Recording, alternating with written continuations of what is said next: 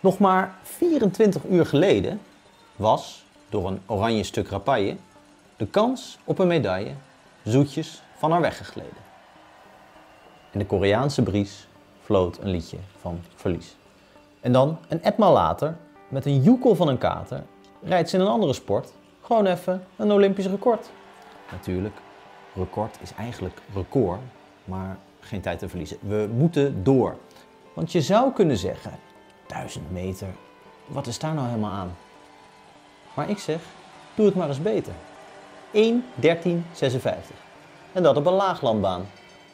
En terwijl de skiers dreigden weg te waaien, zag ik Jorien naar de koning zwaaien. Ik keek en bedacht hoe weinig ik wist van de renaissance van die vrouw die ijzeren heinig afrekende met Wust en die Japanse. Wie weet wat ze had gekund op de 1500. Misschien had ze dan, misschien. Ik had kunnen winnen, zei Jorien. En Jeroen Stekelenburg keek verwonderd. Vier jaar geleden meldde ze nog onvervroren dat ze liever een shorttrackplak had gehad. Ze had goud gewonnen en goud verloren. En bleef ook destijds zo eerlijk als wat. En binnen, tot achter het behang, loeiden de winden van Pyeongchang. Volgens Google is er jaren terug onverbloemd al eens een fuchsia naar haar vernoemd.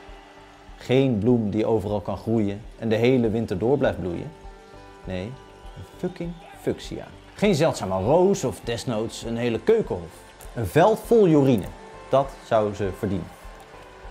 En in het huilen van de storm van Pyeongchang hoorde men nog net Jeroen Otters liederlijk gezang.